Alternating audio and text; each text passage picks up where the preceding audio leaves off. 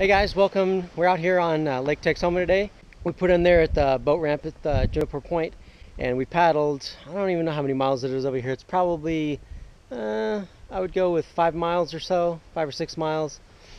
We've, uh, I found this campsite. I had to kind of climb up the bank here. The lake's a little bit flooded right now, so there's not a lot of beach left. But uh, this is our campsite for the night. We've got about two, two and a half hours of daylight left before it gets dark. So I wanted to show you a few of the things that I brought with me. This is what I paddled over in. It's my uh, Old Town Vapor 10 Angler. I've got my dry sacks and my fishing poles there. So welcome and we'll get this thing set up. Let's go. Okay guys, um, we're gonna go ahead and set up the hammock real quick.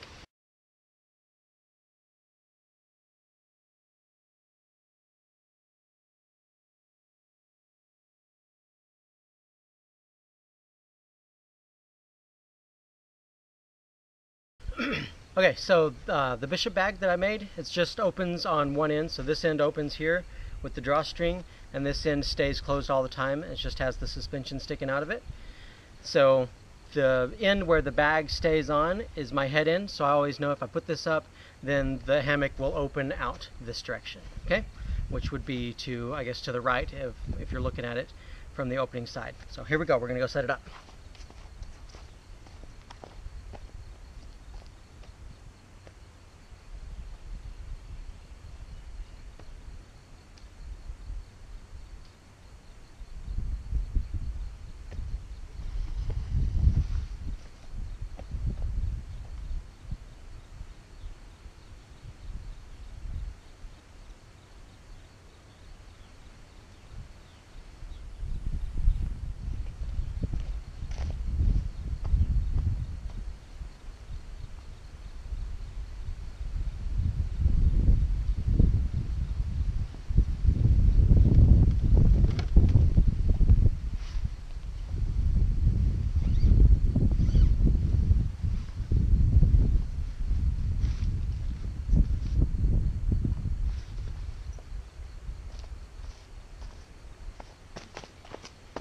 Perfect, there we go. Um, you see it doesn't take very long.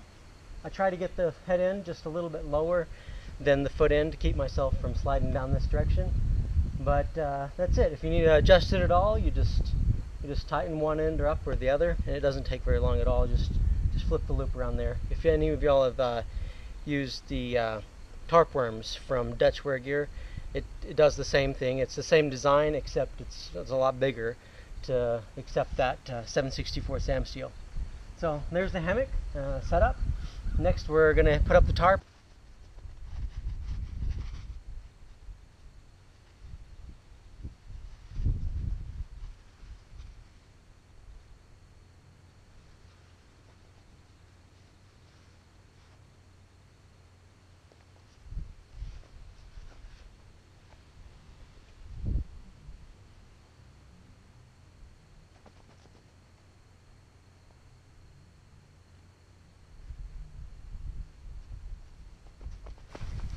Okay, um, after fiddling with it a little bit, I've got it up.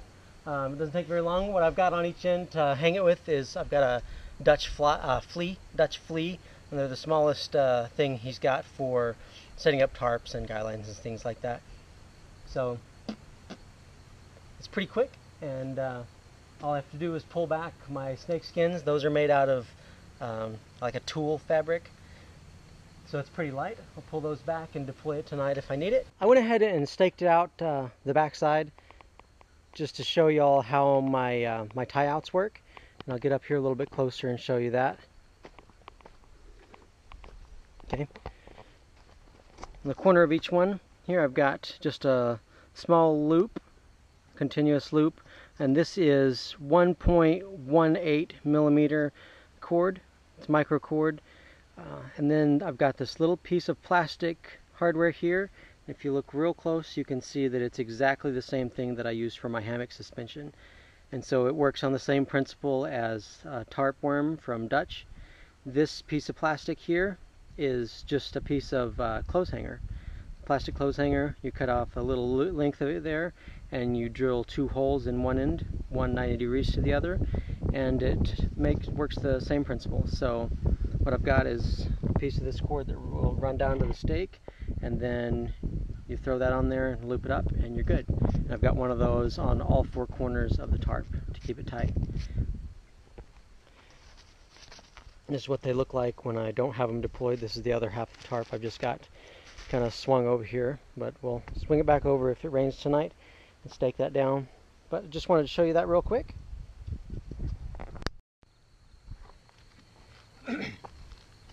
Hey guys, in case y'all were ever wondering why it is that you're supposed to put your fire out cold, um, this is the reason.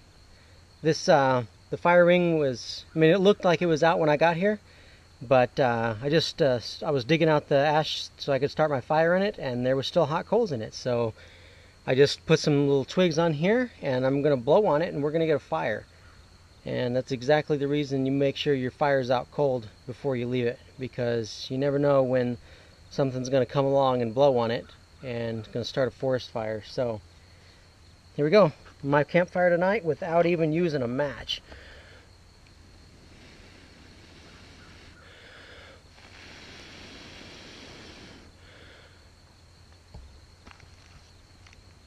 There you go, guys. A no-match fire. Courtesy of the last guy that camped here and didn't put his fire out.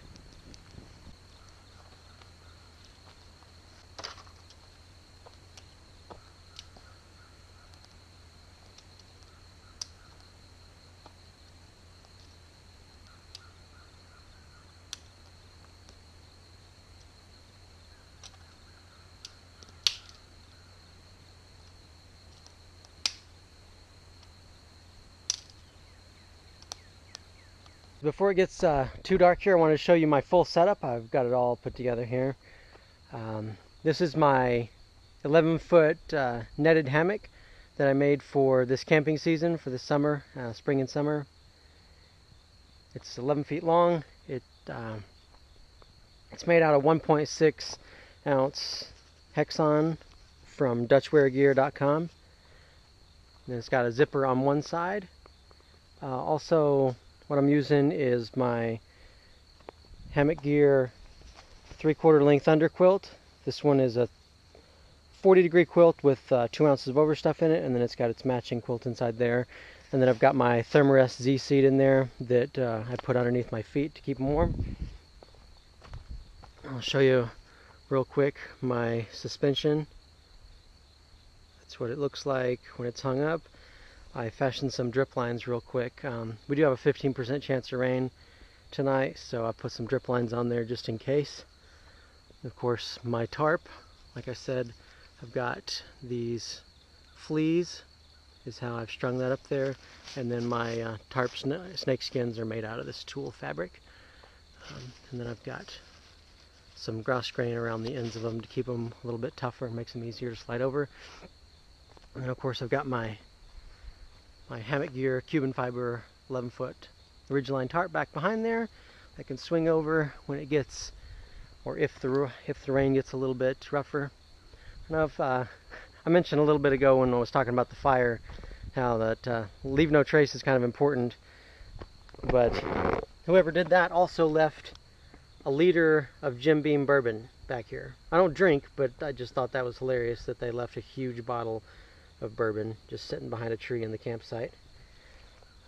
Uh, and then, just like every other campsite, there's there's paracord and little pieces of plastic everywhere. I'm pretty sure there's, there's a whole group of campers out there that have no idea what it means to leave no trace. if y'all see the little firebox stove, I'm not sure what brand that is over there. Somebody can uh, leave that in the comments below. Tell me what kind of stove that is. But uh, that was left here. This steel grate was left here. But it's a pretty cool little uh, firebox stove. I'll probably haul that out with me along with the grate and all the garbage that I picked up. And of course, there's some tent stakes that they left around. And there's some bigger garbage that may have washed up on the side of the lake over here. But so far, we're having a blast. We're sitting here next to the fire. I'm probably going to cook soon and do my uh, final prep for the night. Tonight we're going to have some beef stroganoff with noodles. Uh, this is the single serving pack. It's got like uh, four, 450, just under five dollars for the little pack of it. Um, and generally the little packs fill me up okay. I've got uh, I've got some snacks to go along with it. But we've got my 600 milliliter Toaks titanium pot here. Got my Vargo windscreen, my Fancy Feast stove. It's not made out of a Fancy Feast can, but it's the same design. And I've got my searing rod and a lighter, a little measuring cup, and uh, we're fixing to boil up some water. So here we go.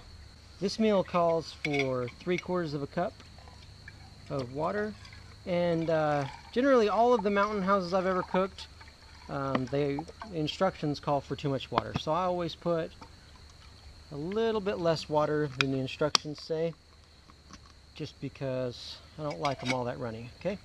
So we got three quarters of a cup of water all prepped up there.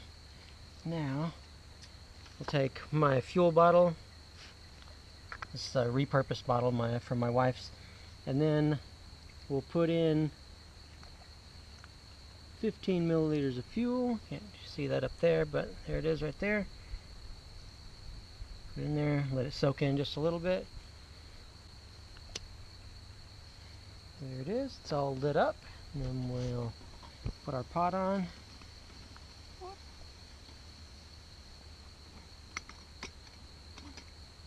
There we go.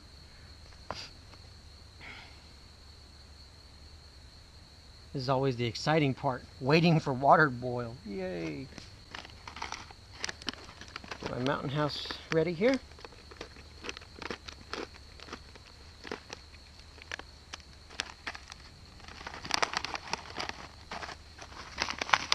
There it is.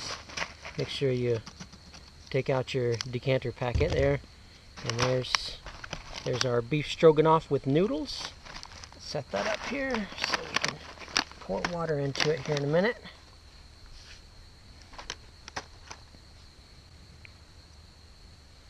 And there's my spoon. I use the Toaks titanium long-handled spoon with the polished bowl on it. This is my favorite spoon in the whole world because uh, of course, I use it for my mountain houses, but I also use it for all my freezer bag meals. Um, I just love the spoon. I've, I've I started out using a spork years ago, and it's always been a mess. So I turned changed over to the spoon, and I have never looked back. So love the spoon, especially with the polished bowl on it. Uh, that makes it really nice. Drop that in there, cause we're gonna need it.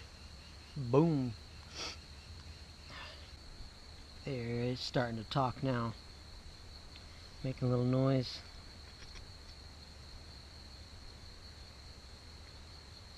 Now, the reason I use this 600 milliliter pot is, I think I mentioned in one of my previous videos uh, when I made that uh, mini um, cat can stove, that uh, I just don't use more than two cups of water on anything.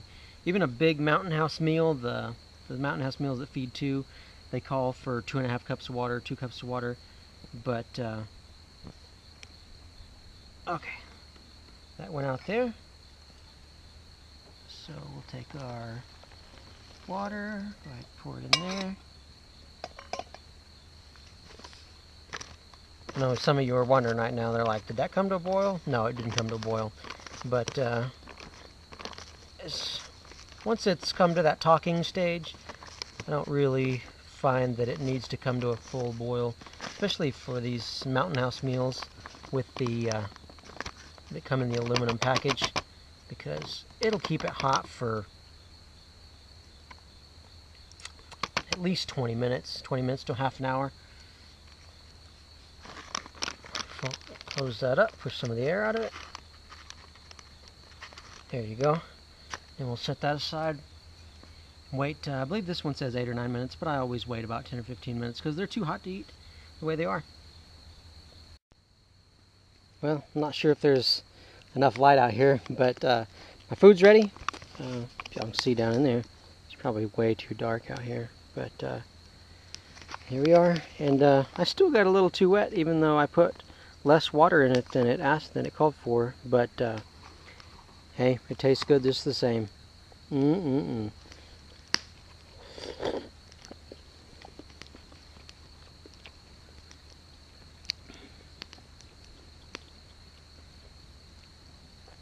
this is what it's about right here. Sitting next to the campfire, quiet, next to the lake, eating some food. Watch the fire burn down, wait till the sun goes down and go to bed. Not much to do after dark. Just listen to the birds and the insects. Y'all have a good night. Good morning, guys. We just woke up. It is about 6:50. Well, it's seven o'clock now. It was 6:50 when I woke up. It took me that long to get out of bed. So, um, here we are. Didn't rain at all last night. Uh, I did uh, go ahead and deploy the tarp. It was. I really didn't think it was going to rain, but never did rain. So uh, we're gonna go get the bear bag down. Really, it's not a bear bag. It's just a raccoon bag. Because, you know, we don't have bears, but we got raccoons. They're a mess. So we're going to get the raccoon back down, and we're going to uh, eat breakfast and pack up camp here real quick. And uh, then we'll be on the road, hopefully by, at least by 7.30 or 8 o'clock.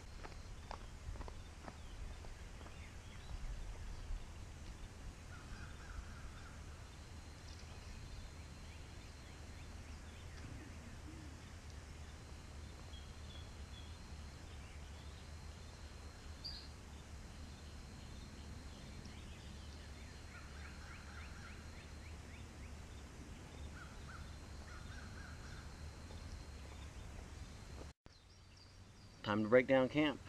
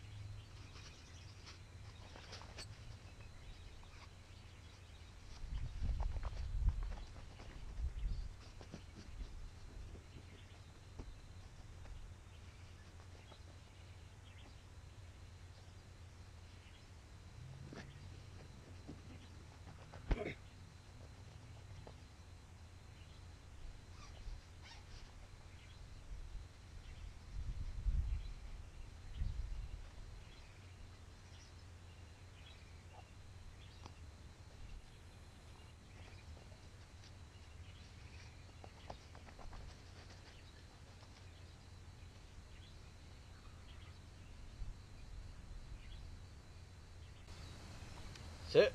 Peace. We're out of here.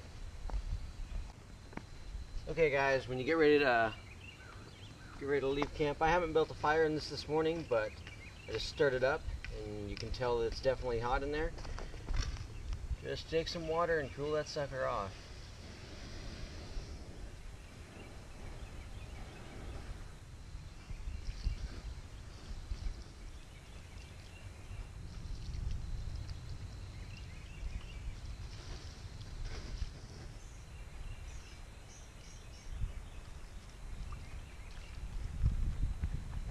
Put some water on it, stir it up.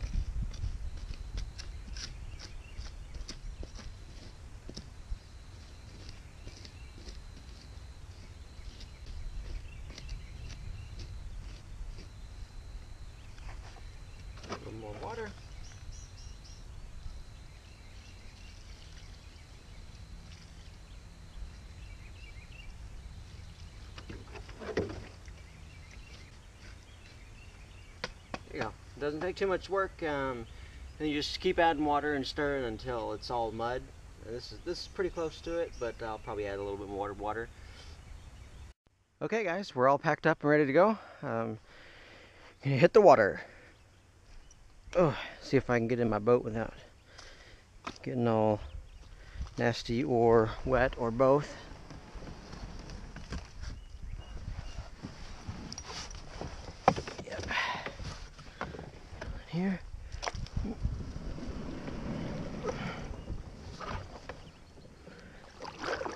Here. We go. That was pretty smooth.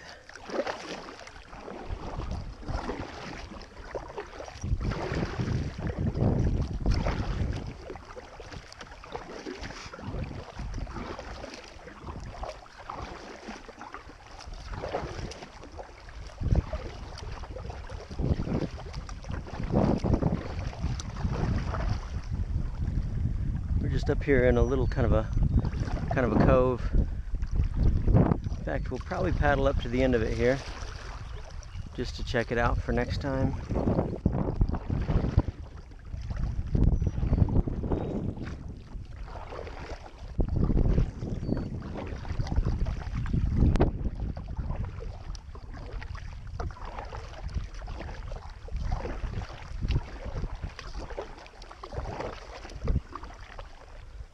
Nice willow trees up here.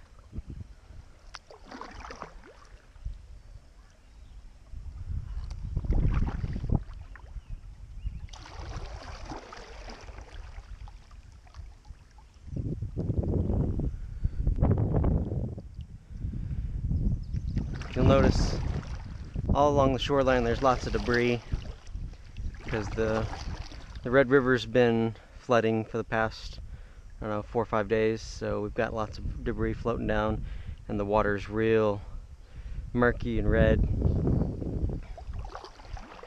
and then the lake's up about 10 feet above above the normal level so it makes it hard to find the beaches because they're all underwater. Well, we're going to paddle out to the other shoreline across the lake over there. And then we're going to go back down to the right, back down towards the bridge, the 377 bridge. It's a beautiful morning. It's probably, I don't know, 8 o'clock. Just beautiful clouds. The water's nice and calm. Yesterday the wind was blowing way too hard. I had fairly nice sized waves. They were crashing through, spraying water in my face the whole time. But this morning is really beautiful.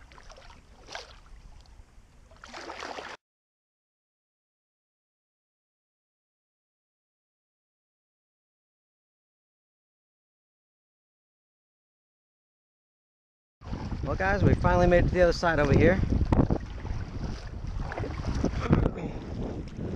Lake's got some pretty good swells. These are probably, I don't know, maybe a foot high. The big ones, they're not all that big. But this is the Oklahoma side of the lake here. We're just gonna paddle up uh, east, back to the bridge. We'll go across and back to the car.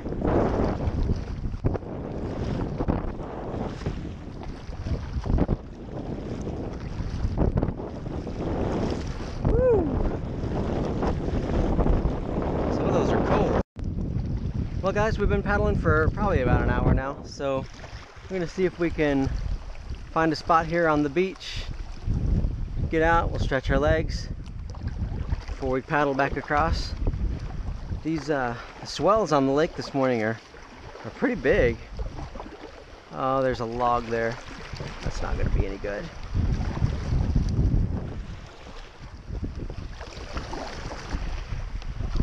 There's so much debris.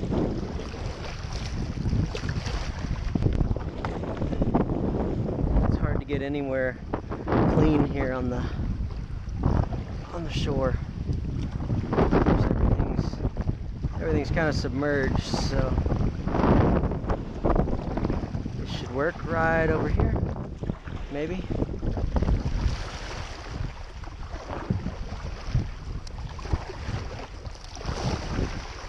Well, let's see if that'll work.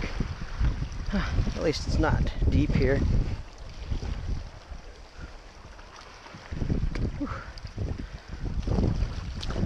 Water's nice and cold on the toes. Kayak. There we go.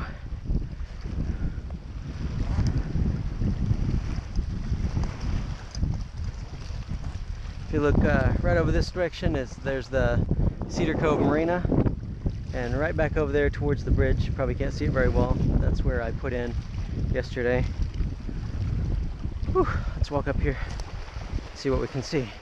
I found a nice sunny, sandy spot.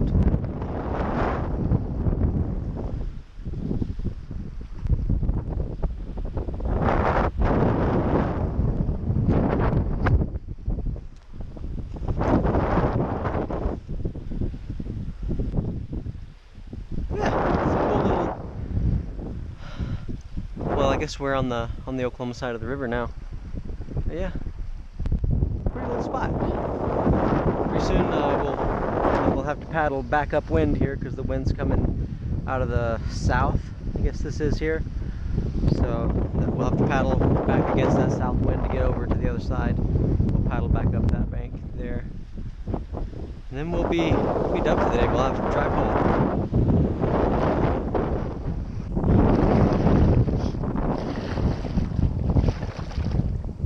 We finally made it back to Juniper Point here, where the car is. Paddle you up here and show you. The boat ramp is completely underwater. And the, the dock, or I should say the walkway to the dock is completely underwater. The dock's still floating, but everything else is pretty flooded up here. There's a whole bunch of debris up on it's, it's in the parking lot now where the boat ramp would be. Circle here. Show you all that. You see the dock behind me there.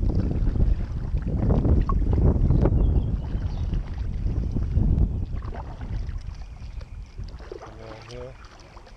The parking lot's kind of probably a third underwater.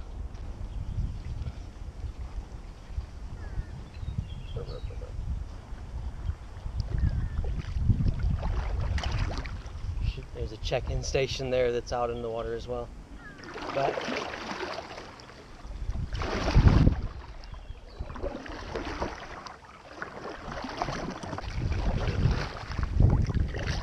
guys, thanks again for coming along with me on this trip.